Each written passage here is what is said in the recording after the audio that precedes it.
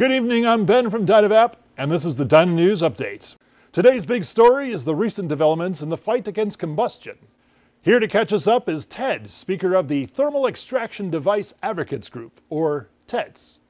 Thanks for being with us today, Ted. Thank you, Ben, and thank you, Dyna News, for having me. Tell us more about your cause and what you're fighting for. The TEDs are all about the harms of combustion and the dangers it poses to your loved ones. Everyone always thinks it could never happen to me, and so did I, until my poor daughter was warned by an attentive college student who liked to enjoy combusting rolled material. One day he dropped it right on my poor baby. She lit up so fast that the doctor told me she didn't even feel the student stomp on her to put the fire out. But it doesn't help me sleep at night. Hmm.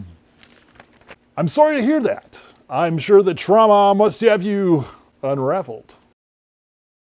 But if I can't combust, how will I and the millions of beloved Dyna News viewers learn to love our material again? Right. Puns aside, I'm glad you asked. We're here to spread the good word of thermal extraction. The future is here, and now there are devices that make the thermal quantum time space physics mechanics jargon easy for everybody. Dynavap has been working with the TED Advocate Group for years now, providing education and resources to aid us in spreading combustion awareness. It sounds like you're really lighting a fire your people. Hmm.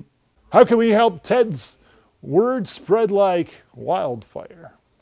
Mm, by buying a Dynavap device, you not only help fund more production of these products, but you also become a first-hand account of the benefits of these devices. So I plead to you, for the sake of my daughter, try Dynavap today and help spread the word. Will my tin sister ever come back, Papa? No, son, I'm sorry. She's gone and left, but it will be all right.